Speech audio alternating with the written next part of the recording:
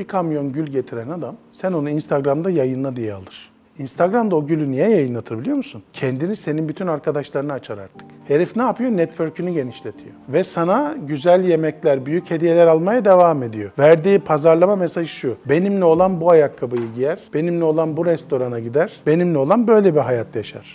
Bu adam zaten sevemediğini baştan belli ediyor. Sevebilen bir insanın bir kamyon gül alma ihtiyacı yoktur. Sevemeyenin vardır. Çünkü seni seven papatyayla da gelir. Kamyonla gelince ne oluyor? O parlak yüzeye ihtiyacı olan narsistin. Bu adamın narsist olmasında bir sıkıntı yok. Sana ne? Sen narsistle niye berabersin? Kendine sor. Ondan sonra bu narsistler böyle. Bacım zorladılar mı? Silah mı çektiler? Gazozuna ilaç mı attılar? Bir kendinize gelin ya.